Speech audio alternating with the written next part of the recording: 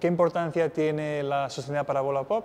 Bueno, la sostenibilidad es, eh, está en el sí de nuestro modelo de negocio. Como sabéis, tenemos un modelo de negocio circular y promovemos la extensión de la vida útil de los productos a través de esta plataforma de segunda mano y está en lo más alto de nuestro propósito como empresa, eh, que es que promovemos y empoderamos a los consumidores a vivir un modelo de consumo más consciente y más sostenible.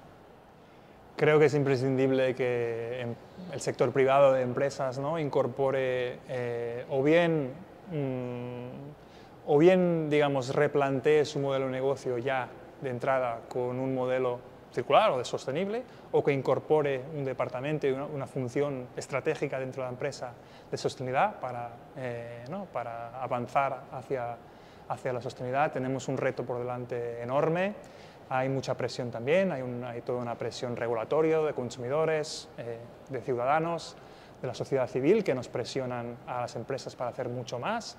Entonces hoy en día creo que es imprescindible eh, incorporar eh, la sostenibilidad y ya no como una actividad paralela extra, sino como una actividad en el sí de, la propuesta de valor y, y del propósito de la empresa.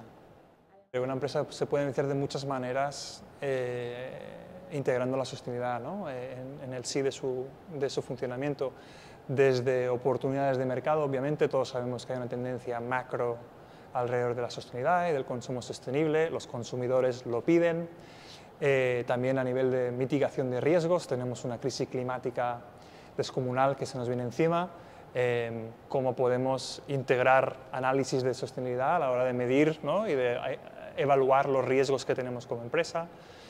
Es un, es un factor de motivación interno y de construcción de cultura interna con los empleados.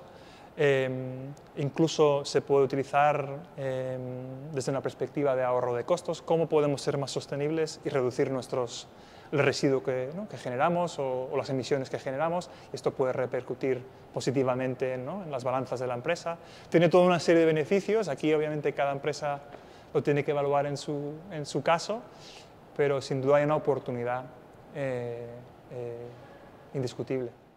Creo que para una empresa que está dando los primeros pasos, creo que tiene una oportunidad de oro para conceptualizar tanto su modelo de negocio como su propuesta de valor, como su propósito y su visión como empresa. ¿no? Es mucho más difícil retroactivamente tener que cambiarlo después de 15 años cuando tienes una estructura muy montada y tienes un modelo mucho más establecido que, integrarlo desde desde, el, primer momento. Ahí tienes una oportunidad de oro que no tendrás después, ¿no? que será mucho más difícil.